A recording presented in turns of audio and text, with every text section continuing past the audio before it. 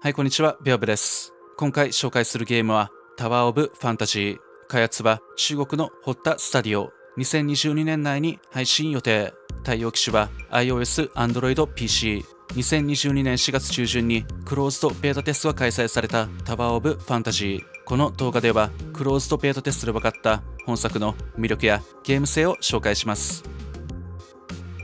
青函移民計画によりアイダ星に移住した人類アイダ星に新たな文明を築いた人類は水星から未知のエネルギーオムニアムを獲得するため幻灯を建設した。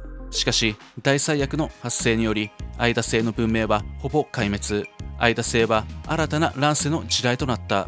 謎の人物により記憶を喪失させられた主人公はシャーリーとその仲間たちに出会い救世主を自称する巨大組織アイダの子の裏に潜む謎を解き明かす旅に出る。ジャンルはオープンワールドアクション RPG オープンワールドの世界をシームレスに探索。自由度の高い戦闘の2つを大きな売りとしているゲームです。通常攻撃やスキル攻撃のボタンをタップして攻撃を発動。3種類の武器を装備することができ武器を切り替えながら戦闘を繰り広げます。武器の操作マニュアルがこちら。ジャンプや長押しを絡めると攻撃が変化します。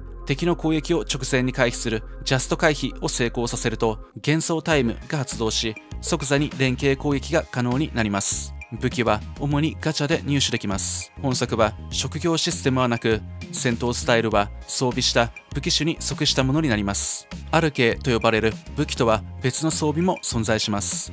例えばジェットパックは一定時間飛行することができ多連装ミサイルは発動すると一定時間ミサイルを発射し続けます。多彩な乗り物も存在しておりバイクに乗ればフィールドを素早く移動できます。以上が基本の戦闘システムです。シンプルな操作でスタイリッシュな戦闘が楽しめるゲームだと感じました。すでにゲームパッドに対応しているのも嬉しいポイントです。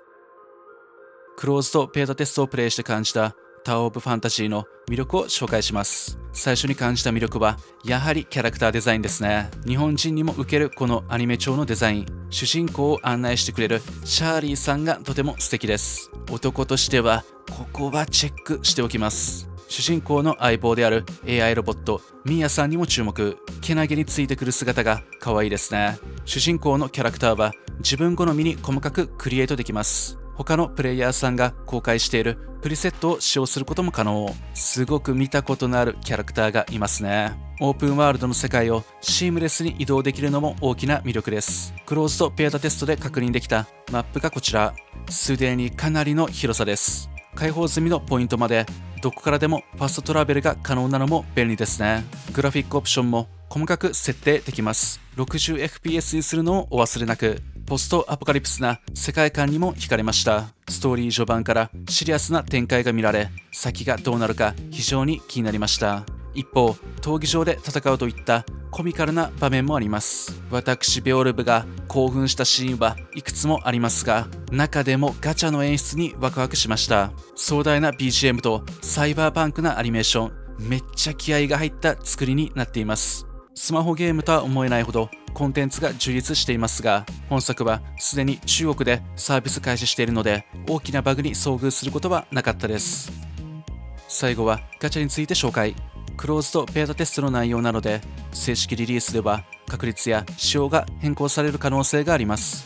タワーオブファンタジーにはキャラクターガチャはなく武器ガチャのみです。レア度は SSR、SR、R の3種類。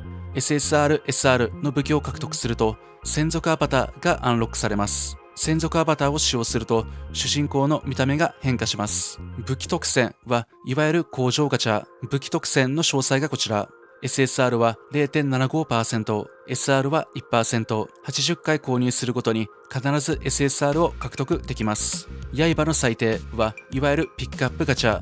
刃の最低の詳細がこちら。SSR は0.75%、SR は1%、80回購入するごとに必ず SSR を獲得できます。この時50%の確率で獲得できる武器がピックアップ対象であるグレントになります。ガチャはこういった内容でした。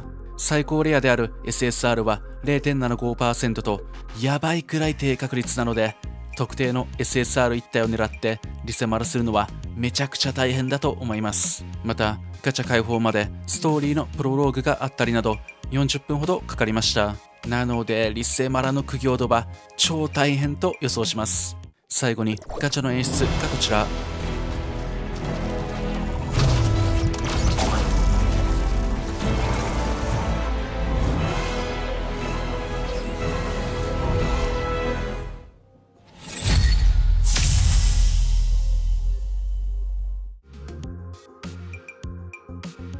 はい、というわけで今回はタオブファンタジーを紹介しました。アニメ超キャラのアクション RPG が好きな方、SF ストーリーが好きな方は要チェックなゲームだと思います。今後も注目のスマホゲームを紹介していくので、ぜひチャンネル登録してお待ちください。それではご視聴ありがとうございました。